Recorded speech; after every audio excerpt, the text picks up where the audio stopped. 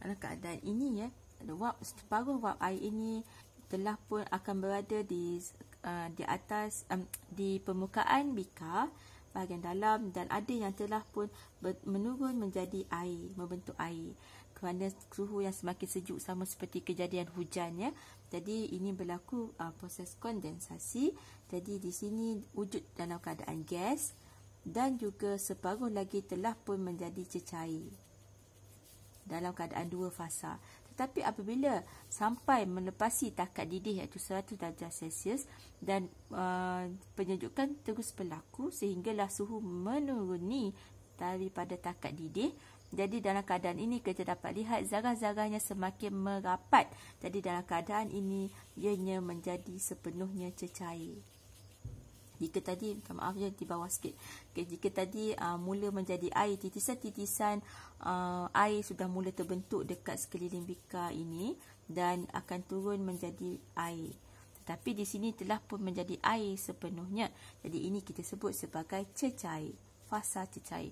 Dan kalau kita lihat di sini zarah-zarah sudah mula bersentuhan antara satu sama lain.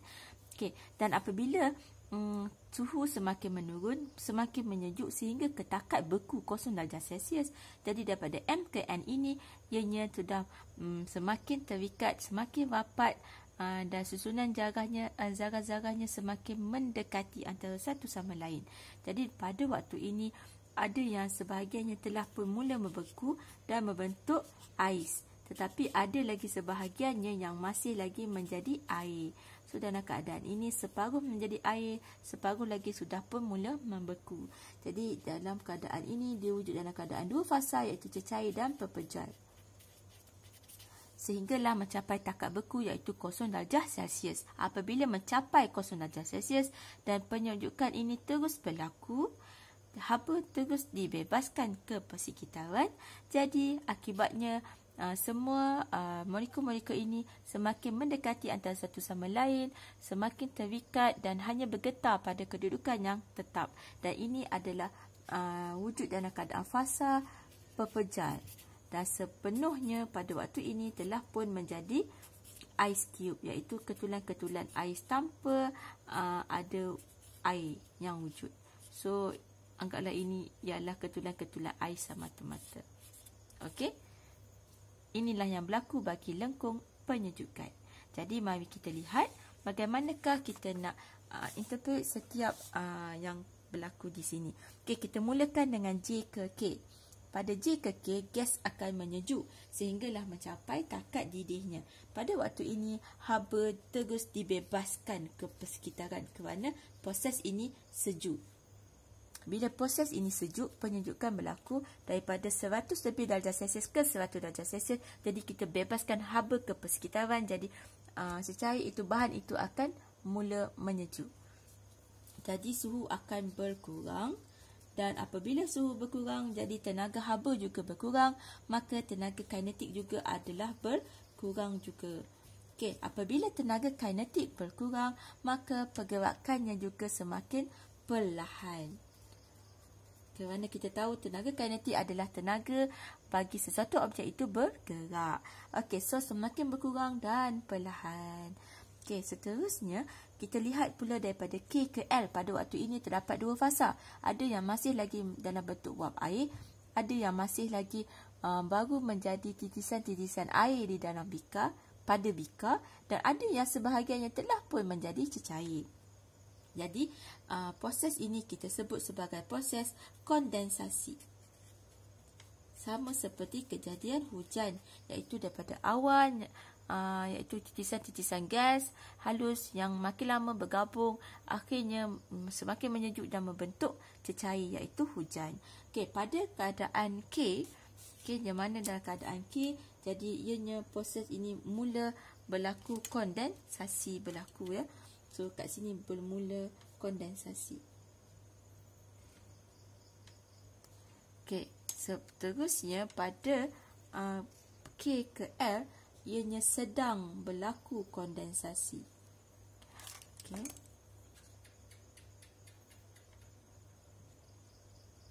Okey, seterusnya pada L pula sudah berlaku kondensasi sepenuhnya.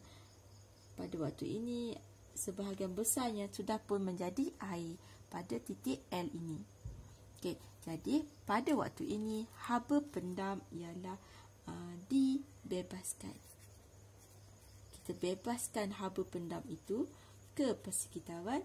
Jadi akhirnya apabila haba pendam dibebaskan, jadi ikatan tadi dibentuk semula. Terbentuk ya. Semula. Jadi molekul akan mm, bergerak ke satu sama lain mendekatilah okey bergerak atau mendekati satu sama lain dan tenaga kinetiknya pula tidak berkurang. Kerana uh, suhunya adalah mala.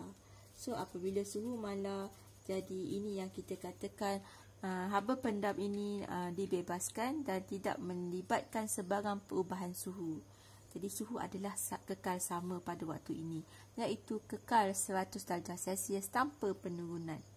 Okey, apa Okey, bagi L dan M pula pada waktu ini um, apabila menuruni 100 darjah Celsius secair tersebut semakin menyejuk dan sehinggalah mencapai suhu 0 darjah Celsius iaitu takat beku bagi cecair tersebut.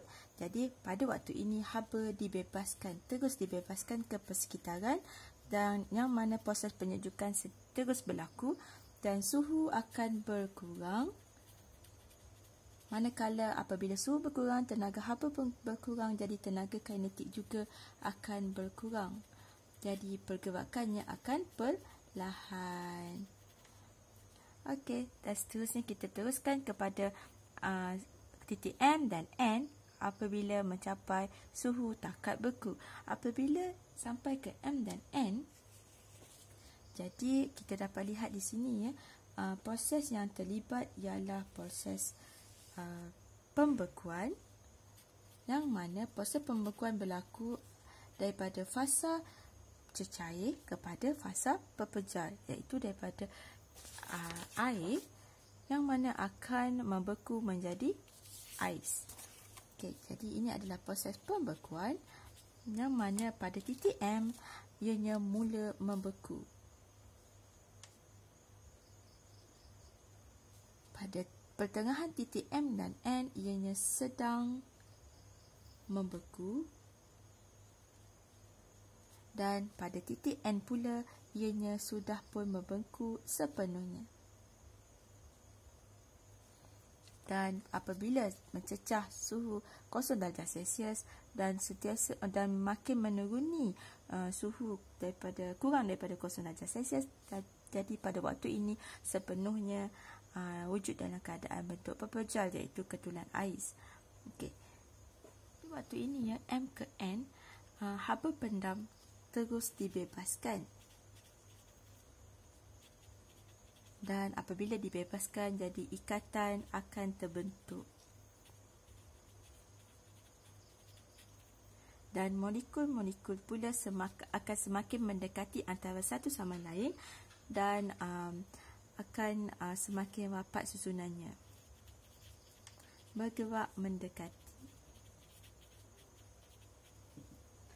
Tenaga kinetik pula pada uh, antara M ke N ini adalah tidak berkurang kerana uh, pada waktu ini suhu adalah malar.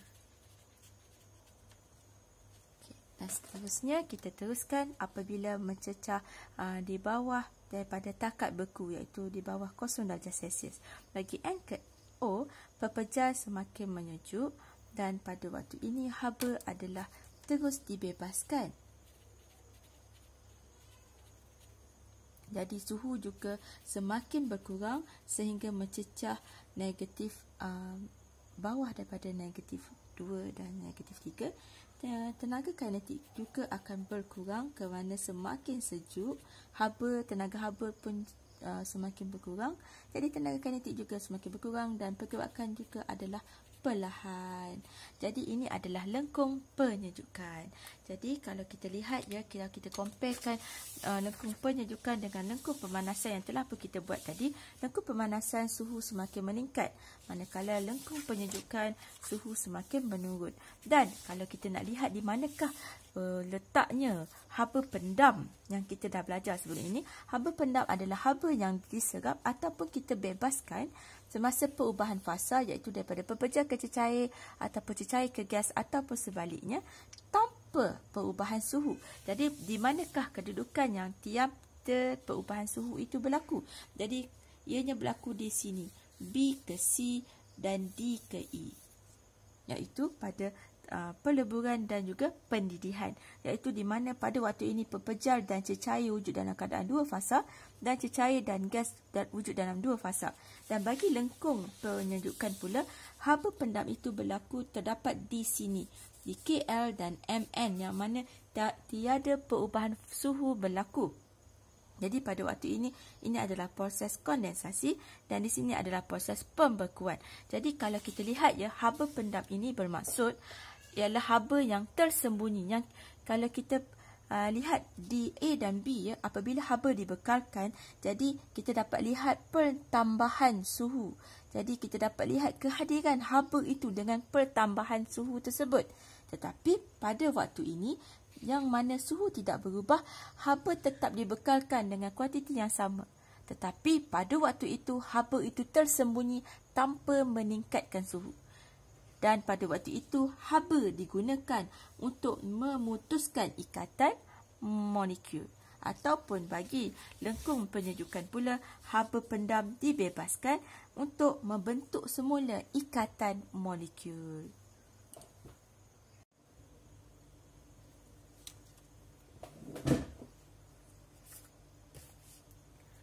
haba pendam tentu. Kuantiti, haba pendam tentu ialah kuantiti haba yang diserap ataupun uh, dibebaskan. Okay, semasa perubahan fasa. Bagi 1 kilogram okey ini penting. Disebabkan itu kita sebut dia sebagai tentu ya. Tanpa perubahan suhu. Macam cikgu cakap tadilah, suhu tidak meningkat. Dan di situlah adanya haba pendam, iaitu haba yang tersembunyi. Jadi, simbol bagi haba pendam tentu ialah L kecil. Okey, dan formulanya ialah L sama dengan Q per M. Yang mana Q ialah Q ialah um, tenaga haba ataupun kuantiti haba dan M ialah jisim. Okey, jadi SI unitnya ialah jika kita lihat ya uh, formulanya ialah uh, Q per dengan M. Jadi bagi tenaga uh, SI unitnya adalah joule dan bagi jisim SI unitnya ialah kilogram.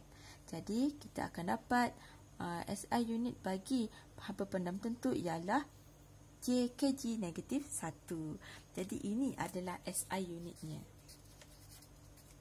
Dan haba pendam tentu pula terbahagi kepada dua, iaitu haba pendam tentu pelakuran dan haba pendam tentu pengawapan. Jadi untuk mudah ingatnya, haba pendam tentu pelakuran start huruf L jadi peleburan. Jadi peleburan yang melibatkan pepejar kepada cecair ialah uh, adalah salah satu daripada haba pendam tutup pelakukan. Manakala pengawapan ialah warp. Okey, jadi warp ini ialah uh, steam ataupun gas. Jadi melibatkan perbezaan antara cecair kepada gas. Mari kita lihat satu persatu perbezaan antara haba pendam tutup pelakukan dan juga haba pendam tentu pengawapan. Baiklah, kita lihat satu persatu daripada segi definisinya. Pelakuran adalah kuantiti haba yang diserap semasa pelebu, proses peleburan berlaku. Okey, dan uh, ataupun mungkin um, kuantiti haba yang dibebaskan semasa pembekuan berlaku. Okey, bagi 1 kilogram bahan tanpa melibatkan perubahan suhu. Manakala bagi pengawapan pula, kuantiti haba yang diserap sama diserap tetapi semasa proses pendidihan. Ini yang membezakan ya antara pelakuran dan pengawapan. Okey, ataupun mungkin dibebaskan semasa proses kondensasi. Bagi satu bahan, kilogram bahan tanpa perubahan suhu. Jadi, simbol bagi haba pendam tutup pelakuran ialah L besar, eh, L kecil, maaf, dan juga F kecil. Iaitu F kecil ini um, bermaksud fusion in English. Okay? fusion ialah pelakuran manakala bagi pengawapan ialah L kecil dan V kecil. V kecil ini bermaksud vaporization. Proses pula ianya melibatkan dua proses seperti tadilah iaitu proses peleburan dan juga proses pembekuan.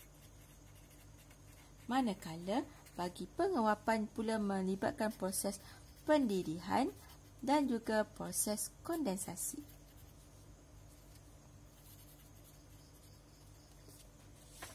Dan ini adalah gambar wajah yang dapat kita lihat.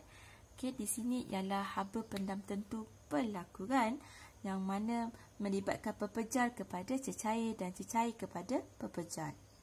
Dan macam cikgu cakap tadilah nak mudah ingat L pelakuran jadi L peleburan. Okey, ia melibatkan pepejal kepada cecair dan cecair kepada pepejal. Apabila daripada pepejal ke cecair, maka haba pendam tentu pelakuran itu akan diserap. Manakala apabila cecair kepada pepejal, haba pendam tentu pelakuran itu akan dibebaskan kerana proses itu itu adalah sejuk. Jadi haba perlu dibebaskan. Mudah saja. Okey, berbeza dengan penguapan pula ya. Ianya hanya melibatkan cecair ke gas-gas kepada cecair. Yang mana cikgu dah uh, bagi petua tadi nak mudah ingat iaitu penguapan WAP, WAP dan WAP adalah melibatkan gas. Jadi setiap uh, proses ini melibatkan gas. Sama ada cecair ke gas ataupun gas kepada cecair. Penguapan gas. Okey. Jadi apabila cecair kepada gas, ianya adalah panas, pendidihan. Jadi apabila panas, haba pendam tentu pengawapannya perlu diserap. Manakala daripada gas ke cecair, jadi haba pendam tentu pengawapannya perlu dibebaskan kerana ianya um, bersifat sejuk. Dan inilah dia perbezaan antara haba pendam tentu pelakuran dan haba pendam tentu pengawapan.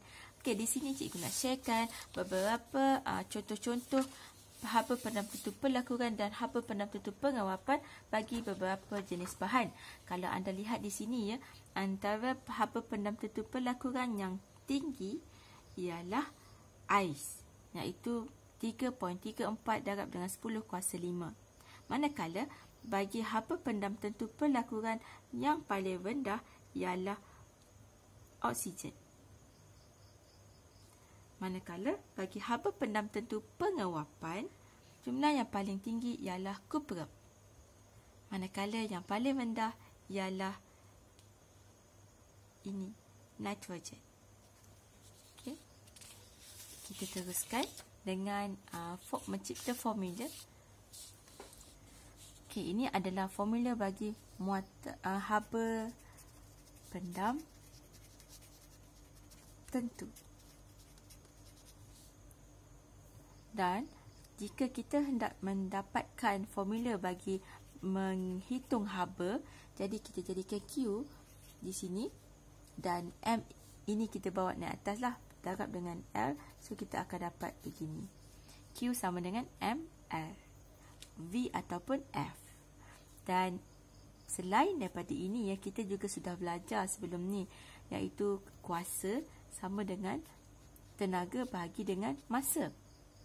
Dan tenaga ini adalah sama dengan Q iaitu tenaga haba. Jadi cikgu gantikan ya Q E ni dengan Q per dengan T P di sini. Jadi kita dapat bahawa Q sama dengan P darab dengan T. Jadi cikgu gantikan Q ini dengan PT di sini. Sama dengan M L. Dan ini adalah formula yang kedua bagi mendapatkan um, bagi menjawab ataupun menyelesaikan masalah yang melibatkan muatan haba pendam tentu. Okey, jadi mari kita cuba menjawab beberapa soalan dengan menggunakan formula ini. Formula yang pertama ataupun yang kedua ataupun yang ketiga. Okey, ini adalah soalan yang pertama. Okey, cikgu tutup dulu soalan yang ni. Okey, kita fokus satu persatu. Okey, berapa banyakkah haba yang dibebaskan untuk mengubah 200 gram air? Okey, yang ni kita bulatkan. Yang ini kita jadikan dia sebagai M kecil iaitu GSIM. Pada 0 darjah Celsius kepada bongkah ais pada 0 darjah Celsius. Jadi apa yang kita dapat lihat di sini ya, berlaku perubahan fasa daripada cecair kepada pepejal. Jadi ya, uh, soalan ini adalah melibatkan haba pendam tentu perlakuan. Okey, jadi ini adalah uh, haba pendam tentu perlakuan bagi uh, ais ini yang mana kita labelkan dia sebagai R. Okey, jadi kita boleh cuba buat uh, menghitung ataupun menyelesaikan masalah ini yang mana soalannya kita perlu mencari berapakah kuantiti haba. Dan untuk ini formula yang paling sesuai ialah nombor 2. So kita nak cari haba. Jadi cikgu ambil formula nombor 2 dan cikgu tulis di sini. Ingat ya, formula perlu disalin. Okey, kita mulakan.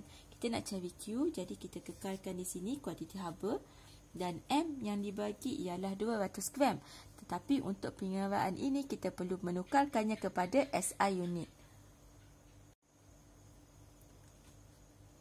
Mengikut soalan ini, uh, jisim yang diberi ialah 200 gram. Jadi untuk menyelesaikan masalah ini kita perlu menukarkannya kepada SI unit. Jadi 200 gram kepada 0.2 kilogram kita darabkan dengan haba pendam tentu pelakurannya ialah 3.36 darab dengan 10 kuasa 5 J kg negatif 1. Okey, jadi kita tekan kalkulator. Dan hasil akhir yang cikgu dapat ialah 67200 dan ini kilogram negatif 1 dan kilogram kita boleh potong dan hasil akhir adalah joule. Dan inilah jawapannya. Haba yang diperlukan untuk ubah 200 gram air daripada 0 darjah Celsius kepada bongkar ais iaitu 0 darjah Celsius ialah sebanyak 67,200 Joule. Ataupun kita juga boleh tulis 67.2 kilojoule. Okey. Dan seterusnya, ini adalah soalan yang kedua. Mari kita jawab sama-sama ya. Di sini diberi um, sebuah pemadam uh, pemanas rendam berkuasa 480 watt iaitu ini ialah P digunakan untuk meleburkan ais di dalam bekas dalam masa 120 saat dan ini ialah saya cikgu sim, tuliskan simbolnya sebagai T kecil okey dan bacaan dan bacaan elektronik ini berkurang sebanyak 0.172 kg jadi ini bermakna ini adalah M. Jadi, hitung haba pendam tentu perlakuan iaitu I, F. Ini yang kita hendak cari. Jadi, soalannya adalah untuk hitung uh, haba pendam tentu perlakuan iaitu LF. Jadi, kita guna tengok pada formula yang sesuai sebab kita ada P, kita ada T, M dan kita nak cari L. Jadi, yang terbaik adalah formula yang ketiga.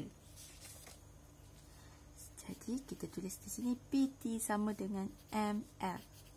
Kita masukkan sahaja P ialah 480 watt, T ialah 120 saat dan M pula ialah 0.172 kg dan darab dengan LF.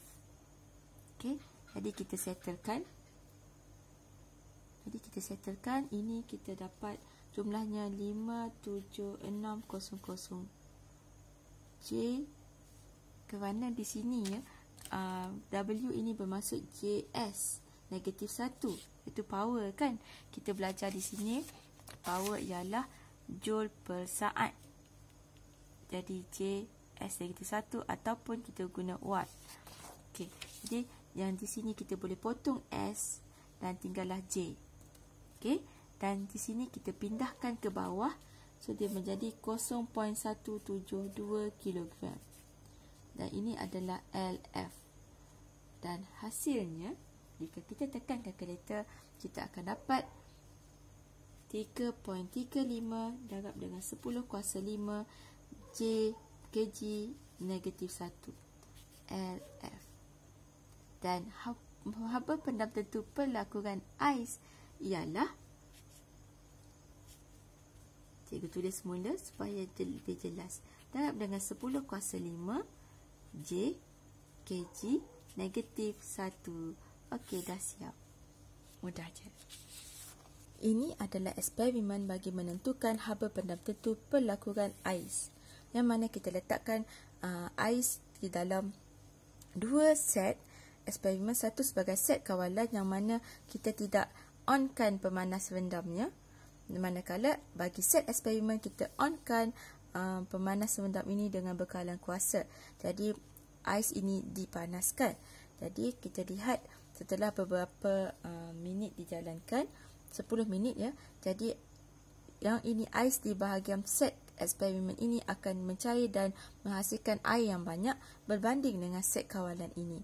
Jadi jisim air bagi kedua-dua ini dihitung dan dimasukkan ke dalam jadual dan seterusnya kuasa pemanasan di sini juga dicatatkan seberapa banyak watt dan juga masa iaitu kita gunakan selama 10 uh, minit darab dengan uh, 60 untuk mendapatkan saat iaitu 600 saat.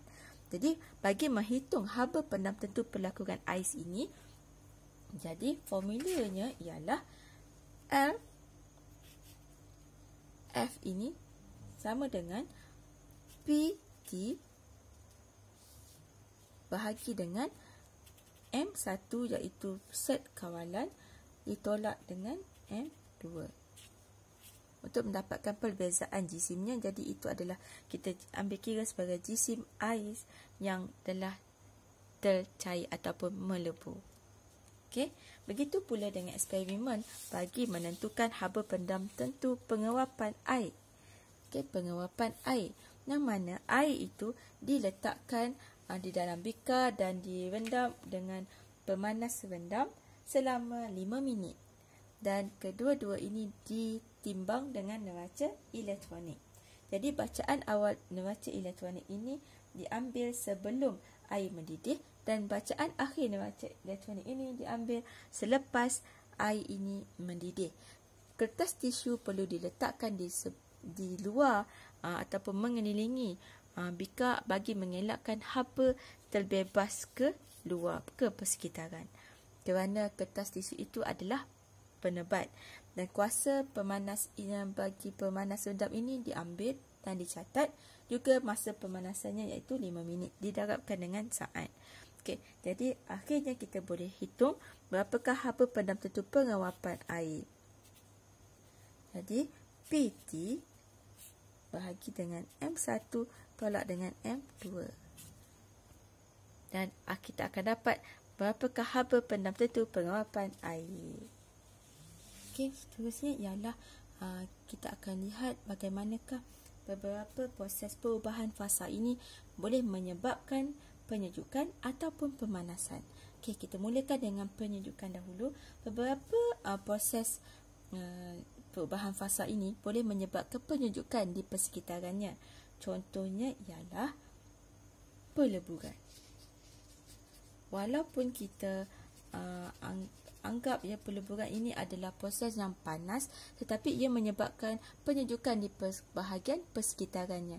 Seperti mana kita pernah belajar ketika tingkatan uh, tiga dahulu iaitu berlaku endothermic Baik, sekarang mari kita pelajari pula beberapa proses yang boleh menyebabkan penyejukan di kawasan persekitarannya. Iaitu terdiri daripada tiga proses ini iaitu peleburan, pendidihan dan penyejatan.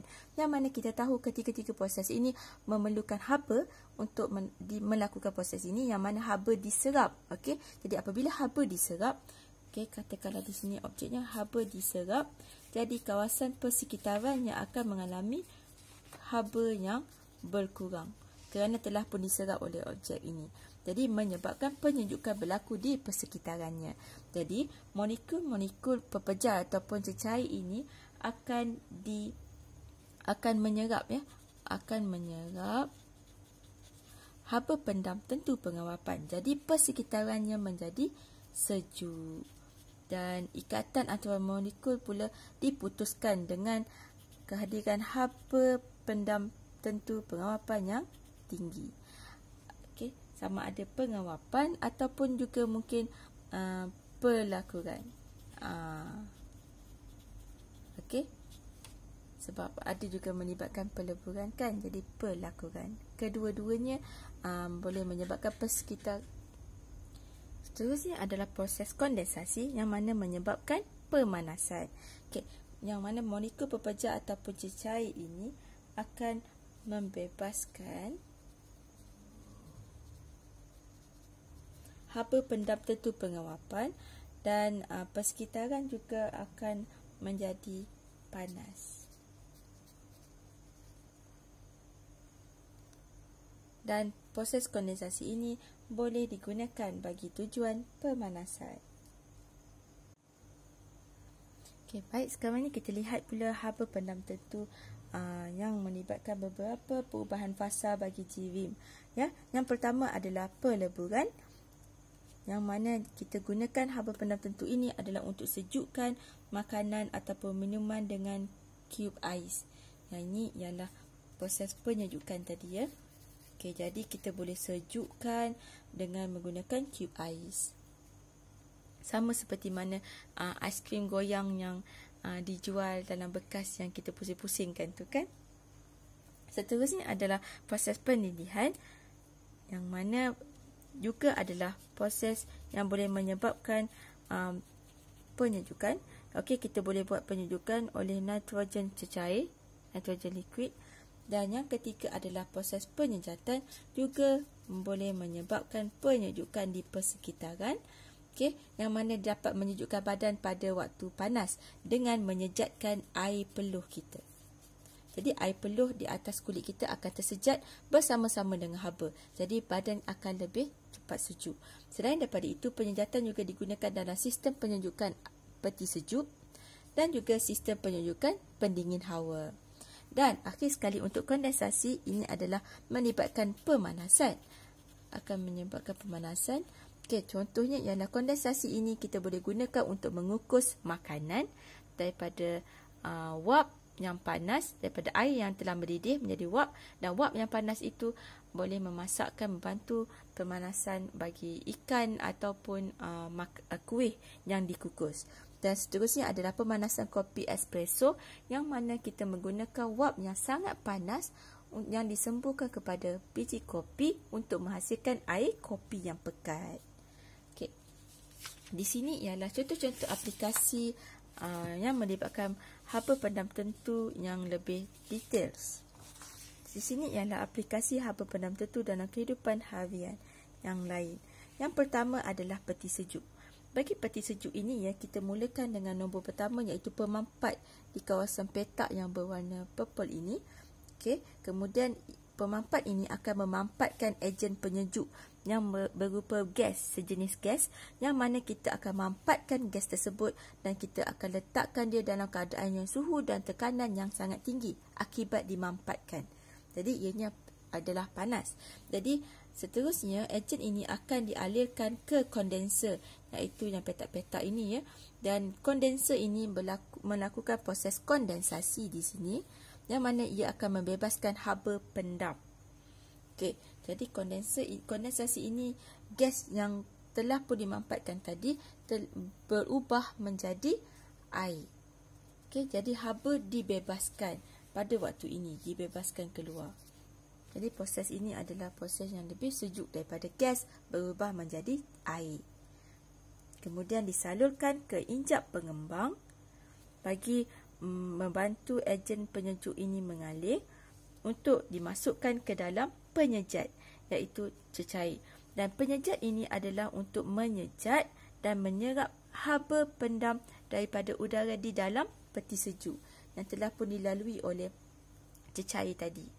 Jadi haba diserap okay, dan disejat di kawasan penyejat penyejat ini.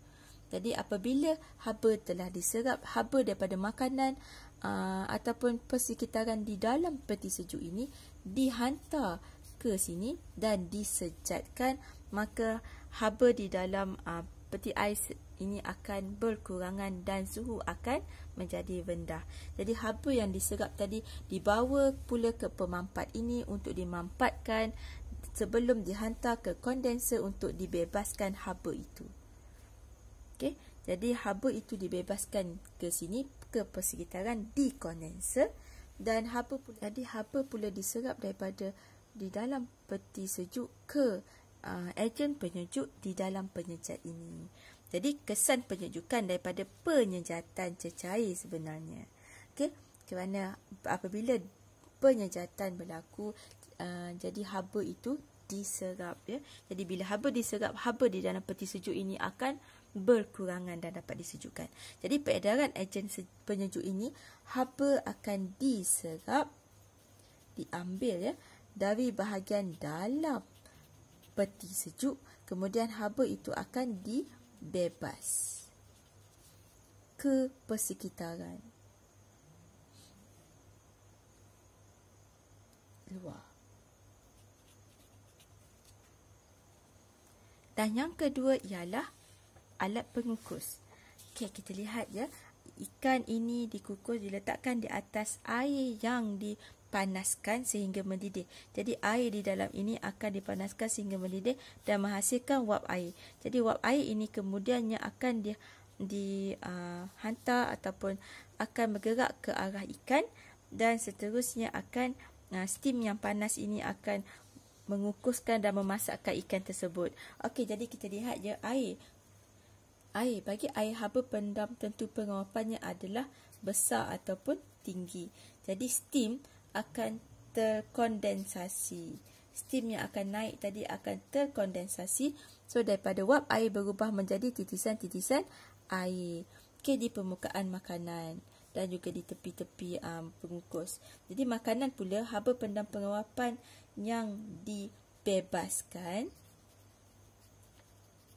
dan diserap Okey, jadi makanan akan masak sempurna. Bagi aplikasi yang ketiga,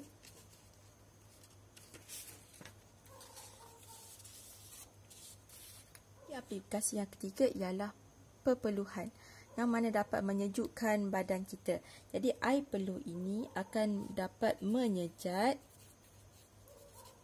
haba pendam pengawapan daripada permukaan kulit. Jadi, air peluh akan menyerap dan membebaskan haba ke persekitaran. Permukaan kulit kehilangan haba. Jadi, suhu permukaan kulit akan menurun. Okey, jadi peluh ini sebenarnya membantu, amat membantu bagi penyejukan uh, badan kita. Mana peluh akan keluar di sini dan haba daripada badan akan dimasuk ke dalam peluh ini dan tersebar ke persekitaran. Okey, yang ke yang seterusnya ialah seterusnya ialah melecur. Okey, melecur uh, yang terkena steam ataupun wap air yang panas adalah lebih teruk kesannya ya daripada terkena air panas. Kerana steam wap panas ini mempunyai suhu yang lebih tinggi berbanding dengan air panas iaitu melebihi 100 darjah Celsius. Jadi, haba pendam tentu pengawapan air pula adalah lebih besar berbanding dengan muatan haba tentu. Oleh itu, uh, steam ini uh, melecuk akibat terkena steam ini adalah lebih teruk daripada air panas. Jadi steam yang uh, ini akan terkondensasi. Jadi haba uh, pendam tentu pengawapan ini akan diserap oleh kulit. Okey, jadi steam ini akan terkena kulit dan terkondensasi menjadi air. Jadi air yang panas itu akan diserap oleh kulit dan menyebabkan melecur. Jadi epidermis dan dermis akan tercedera. Okey, dan seterusnya yang terakhir sekali aplikasinya ialah hmm, ais untuk yang digunakan untuk menyejukkan air. Jadi ketulan ais dimasukkan ke dalam minuman. Jadi ketulan ais ini akan melebur. Jadi haba pendam pelakuran akan diserap dari air minuman. Jadi air minuman akan kehilangan haba okey kerana habanya akan diserap ke dalam um, ketulan ais. Jadi suhu air minuman akan menurun. Jadi air yang kita hendak minum itu akan menjadi lebih sejuk. Okey, jadi semasa ais melebur, jadi suhu campuran ais dan minuman itu akan kekal kepada 0 darjah Celsius. Ini kerana uh, kedua-duanya berada pada fasa uh, yang sama. Uh, okay. Di sini ada satu soalan yang melibatkan uh, haba pendam. Dan mari kita buat sama-sama. Eh. Okey, berapakah kuantiti haba? Jadi soalannya ialah berapakah kuantiti haba? Iaitu Q yang perlu dibekalkan oleh sebuah pemanas air elektrik kepada 0.75 kg ini ialah M jisim air pada suhu 30 darjah Celsius untuk mengubah air tersebut menjadi steam pada suhu 100 darjah Celsius dan uh, diberi muatan haba tentu air iaitu C ini ialah C dan haba pendam tentu pengawapan air iaitu LV. LV. Okey, jadi sekarang ini soalannya ialah kuantiti haba dan uh, daripada air berubah menjadi steam iaitu uh, air 30 darjah Celsius kepada steam 100 darjah Celsius. Jadi di sini kita dapat lihat berlaku perubahan suhu. Jadi apabila berlaku perubahan suhu, jadi ianya akan melibatkan haba pendam. Okey, jadi mari kita lihat sama-sama bagaimana kita nak dapatkan perjalanan uh, kaedah bagi pertukaran fasa daripada air berubah fasa menjadi steam. Kita bermula dengan air yang diberi ialah sebanyak bersuhu 30 darjah Celsius. Okey, sebelum tu cikgu nak lukis lengkung pemanasan dahulu ya. Okey, bermula dengan uh, asalnya ialah uh, ais. Kemudian mencapai takat beku atau takat lebur iaitu 0 darjah Celsius. Kemudian akan menaik suhunya berterusan apabila menepasi takat lebur sehingga dah mencapai 100 darjah Celsius yang mana pada waktu ini dia akan uh, maintain sama sahaja suhunya dan akan naik semula. Dalam keadaan ini ya kita tahu yang uh, air wujud dalam keadaan pepejal sepenuhnya kerana di bawah takat lebur dan apabila melepasi takat lebur dia akan mm, mengalami suhu malah dan pada waktu ini uh, wujud dalam keadaan pepejal dan cecair. Apabila melepasi kosong darjah Celsius, jadi pada waktu ini keseluruhannya menjadi bentuk cecair, fasa cecair. Dan apabila menepasi takat didih 100, jadi pada waktu ini yang berubah fasa, mula berlaku berubah fasa iaitu daripada cecair kepada gas ataupun steam. Dan apabila melepasi uh, suhu 100 darjah Celsius, ianya akan berubah menjadi steam sepenuhnya.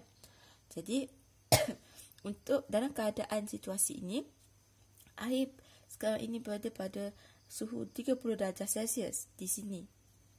Dan akan menjadi uh, steam pada suhu 100 darjah Celsius iaitu di sini.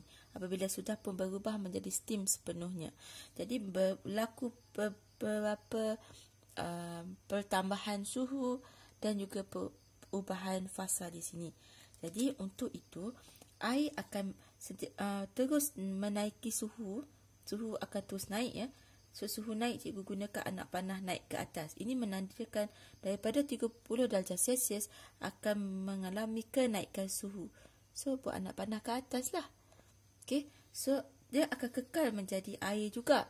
Tapi pada suhu yang paling maksimum yang kemungkinan bagi air ialah 100 darjah Celsius. Ini adalah suhu yang paling tinggi bagi air yang boleh dicapai.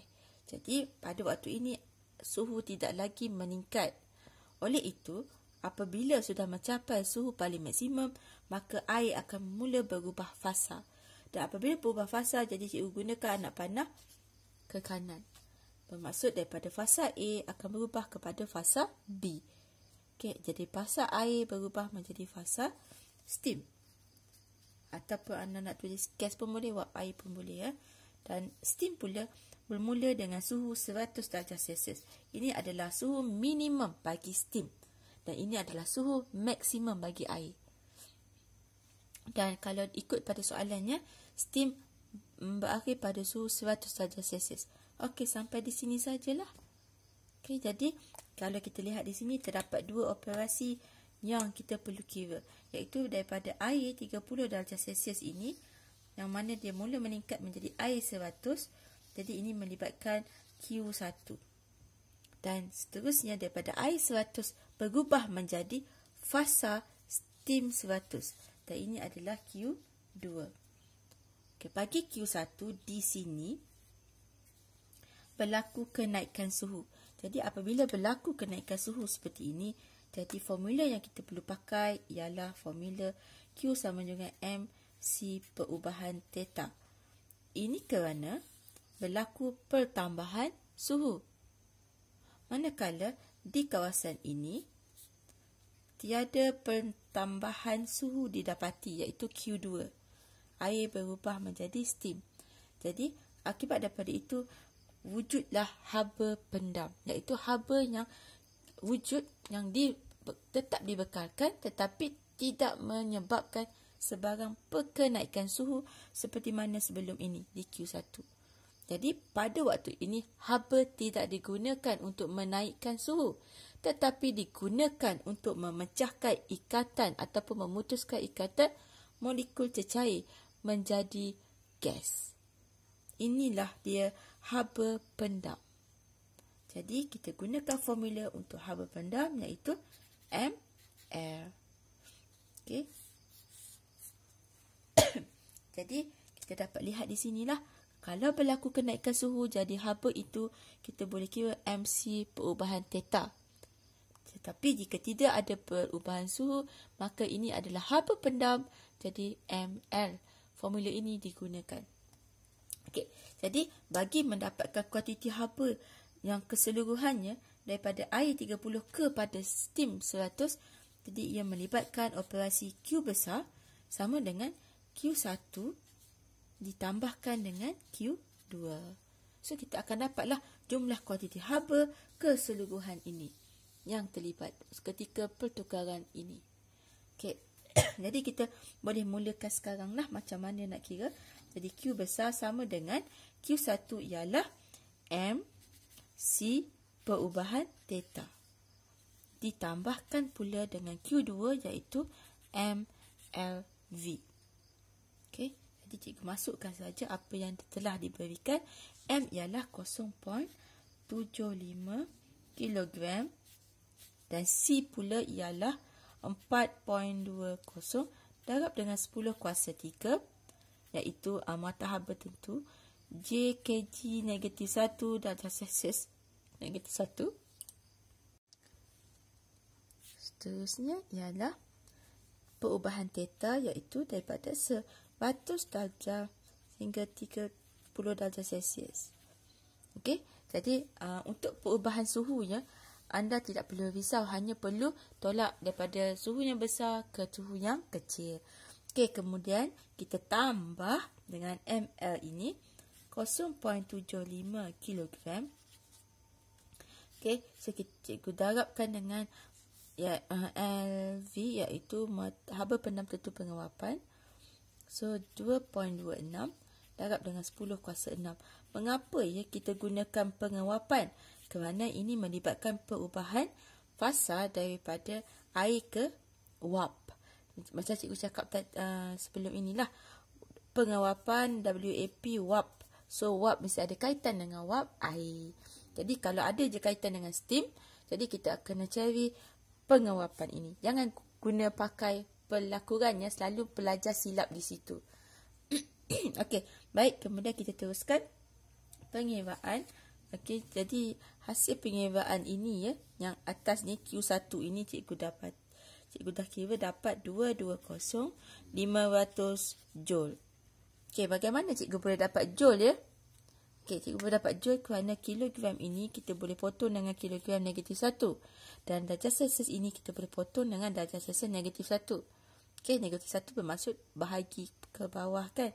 So, yang tinggal adalah joule. Jadi, ini adalah joule. Dan tambah pula dengan hasil operasi yang ini. Okey, hasilnya kita dapat 1695000 dan kilogram ini kita boleh potong dengan kilogram negatif 1. So jawapannya ialah joule. Okey, seterusnya ialah kita tambahkan saja. So hasilnya kita dapat 1915500 joule. Okey, dan jika kita buat dalam bentuk piawai ya, jadi Q bersamaan dengan 1.92 1, 2, 3, 4, 5, 6. Okey, 10 kuasa 6 joule. Dan ini adalah um, jumlah kuantiti haba yang diperlukan bagi menukarkan air 30 darjah Celsius kepada steam 100 darjah Celsius. Okey, dan uh, seterusnya cikgu akan tunjukkan jalan kerja bagi soalan yang kedua. Baik, kita teruskan dengan soalan yang kedua. Okey, kita lihat sama-sama soalannya. Berapakah kuantiti haba? Jadi ini ialah uh, bilangan uh, Q-nya okay, yang dibekalkan oleh sebuah pemanas alat uh, air elektrik kepada 500 gram ais. Ini adalah jisim. Jadi kita tulis M. Ais pada suhu negatif 3 darjah Celsius untuk mengubah ais tersebut menjadi steam. Ah, so yang kita boleh nampak di sini ya, ais ais berubah menjadi steam. Wow. Okey, pada suhu 102 darjah Celsius. Dan diberi ialah muatan haba tentu ais, muatan haba tentu air, muatan haba tentu steam, haba penam tentu pelakuran, L di sini ya, pelakuran dan juga pengawapan, WAP. Okey. Jadi kita mulakan seperti mana yang cikgu ajar tadilah. Okey, kita mulakan dengan yang paling rendah sekali iaitu ais pada suhu negatif 3 darjah Celsius menjadi steam 102 darjah Celsius. Baik, kita mulakan dengan ais yang uh, suhu yang sangat rendah ini ya, negatif 3 darjah Celsius. Okey, sebelum tu cikgu lukis dulu lengkung uh, pemanasan supaya kita nampak lebih jelas lah. Okey, um, di sini, di sini, di sini dan di sini. Okey, di sini kita tahu um, takat lebu iaitu kosong darjah Celsius. Okey, dan ini pula adalah takat didih iaitu 100 darjah Celsius. Okey, dan pada waktu ini kita tahu daripada sini ke sini ya, dalam keadaan negatif, ah suhu dia negatif, dia wujud dalam keadaan pepejas penuhnya iaitu dalam keadaan ais. Manakala dalam keadaan ni ke sini dan pada kosong darjah Celsius wujud dalam keadaan pepejal dan juga cecair. Pada waktu ini ais dah mula mencair tapi hanya sebahagian sahaja daripada bermula dengan takat lebur. Jadi apabila melepasi takat uh, lebur bagi iaitu kosong darjah Celsius jadi dalam keadaan ini ini wujud dalam keadaan secair sepenuhnya. Jika melebihi 100 cecair wujud dalam keadaan dua fasa iaitu cecair dan gas. Dan akhir sekali jika menepasi 100 darjah Celsius ianya akan wujud dalam keadaan gas penuhnya. Okey, jadi dalam keadaan ais negatif 3 darjah Celsius ini suhu akan semakin bertambah sehinggalah ke uh, ais um, suhu maksimum ais iaitu 0 darjah Celsius. Jadi disebabkan berlaku kenaikan suhu jadi cikgu gunakan anak panah ke atas. kenaikan suhu suhu meningkat naik ke atas ya. Okey, jadi kita tulis kat sini ais suhunya ialah kosong darjah Celsius. Suhu maksimum bagi ais dan apabila sampai di sini ais akan berubah menjadi cecair iaitu air. Jadi berlaku perubahan fasa jadi anak panah ke sinilah. Fasa ais berubah menjadi fasa air. Okey, dan air pula suhu yang paling rendah bagi air minimum ialah kosong darjah Celsius. Okey, dan air untuk menjadi steam ya sebab di sini uh, berakhir dengan steam. Jadi perlu mencapai suhu yang paling maksimum bagi air terlebih dahulu sebelum berubah menjadi steam. Jadi suhu maksimum bagi air ialah 100. Jadi suhu itu meningkat berlaku kenaikan suhu. Anak panah naik ke atas. Jadi air pada suhu 100 darjah Celsius. Dan seterusnya dia akan berubah menjadi steam. Jadi berlaku perubahan fasa menjadi steam. Pada suhu yang paling minimum bagi steam ialah 100 darjah Celsius. Dan mengikut soalan, steam ini meningkat suhunya sehingga 102 darjah Celsius. Okey, di sinilah.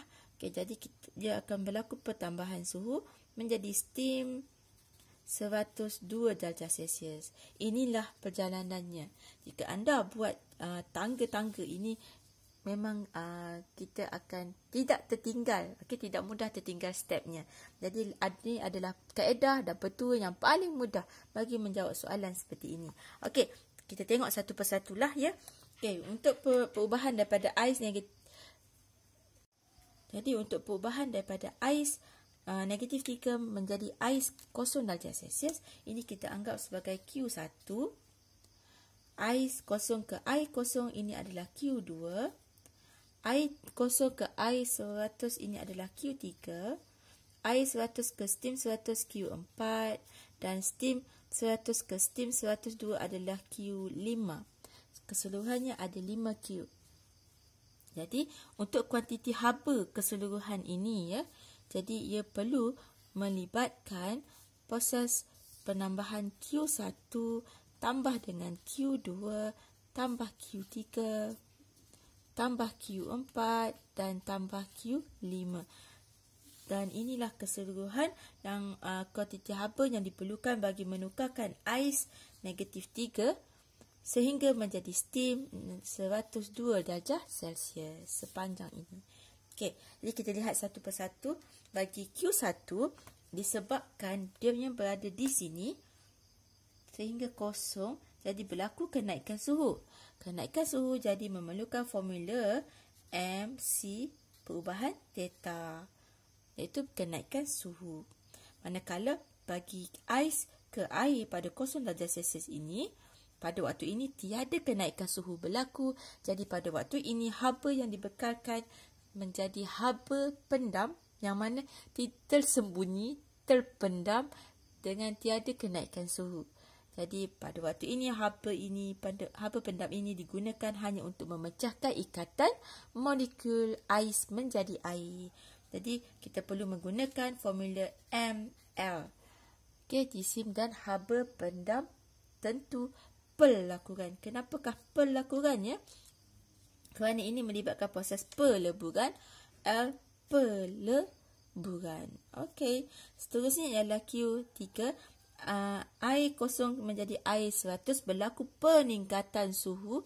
Jadi formula yang perlu digunakan adalah MC perubahan theta. Manakala di sini tiada sebarang peningkatan suhu, haba yang dibekalkan menjadi haba pendam yang digunakan untuk memutuskan ikatan air menjadi steam ataupun warp. Okey dan ini adalah haba pendam dan formulanya ML. Q4 sama dengan ML. Tetapi jika ini F, uh, LF, di sini adalah V iaitu pengawapan kerana air berubah menjadi warp, pengawapan. Dan akhirnya steam uh, 100 berlaku kenaikan suhu menjadi steam 102 dan apabila kenaikan suhu kita gunakan formula MC perubahan theta.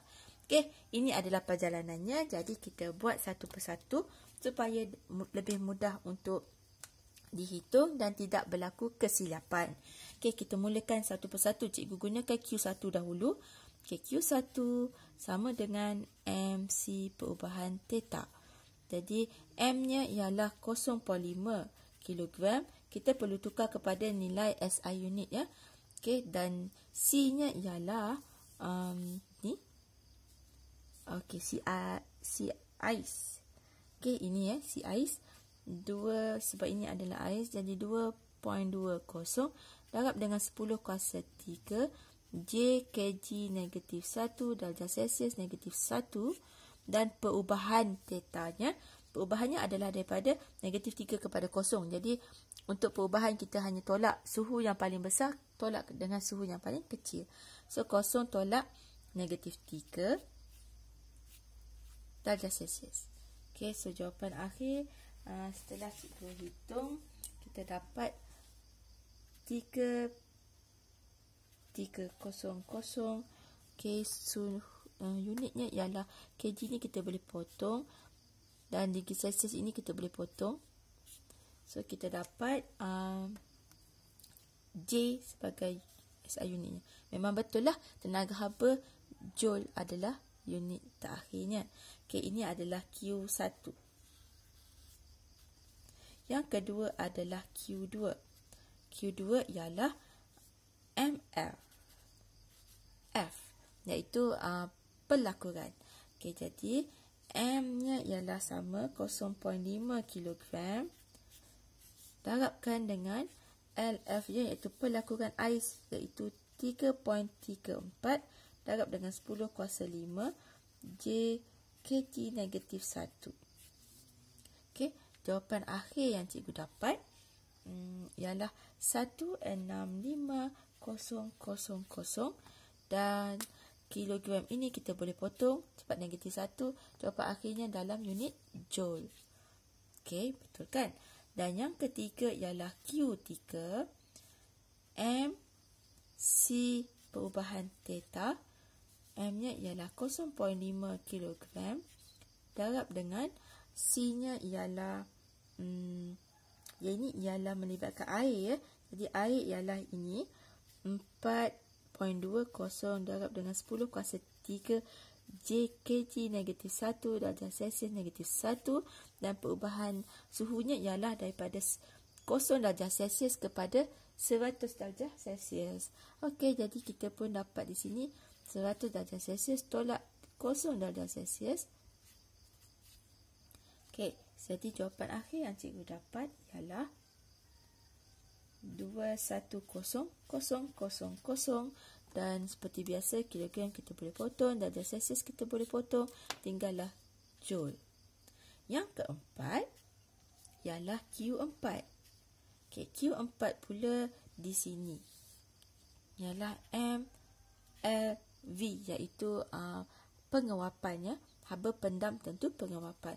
Jadi 0.5 kg kita darabkan dengan pengawapan air iaitu ini.